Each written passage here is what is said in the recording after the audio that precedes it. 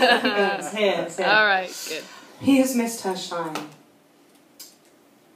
He kisses her, and she is all stardust, scattered.